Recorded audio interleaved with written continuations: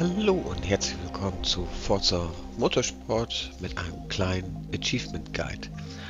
Heute geht es um das Achievement harter Wettbewerb.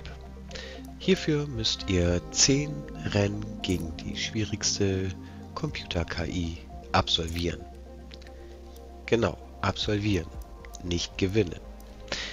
Und äh, das machen wir wie folgt. Wir nehmen folgende Einstellung vor. Und zwar in einem freien Rennen, was wir uns erstellen.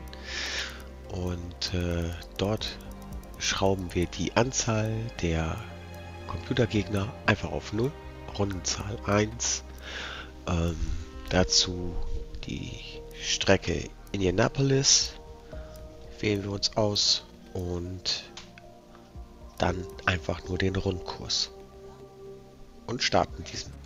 So, nachdem die Strecke nun geladen ist, begeben wir uns auf den Menüpunkt Schwierigkeitsgrad, stellen die KI auf höchsten Schwierigkeitsgrad, speichern dieses und, und dann kann es eigentlich auch schon losgehen. Wir starten einfach das Rennen und wir haben ja eine Runde eingestellt, also brauchen wir auch nur eine Runde absolvieren. Damit ist das Rennen beendet. KI auf höchsten Schwierigkeitsgrad eingestellt.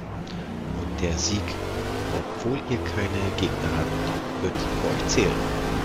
Das wiederholt ihr einfach zehnmal.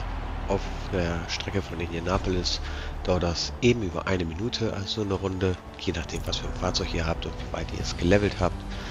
Und habt somit ganz schnell dieses Achievement auf, naja, sagen wir es mal so, einfache Art und Weise erledigt. Wenn euch das geholfen hat, dann würde ich mich gerne über einen Kommentar oder ein Like freuen und sage Tschüss, bis zum nächsten Mal.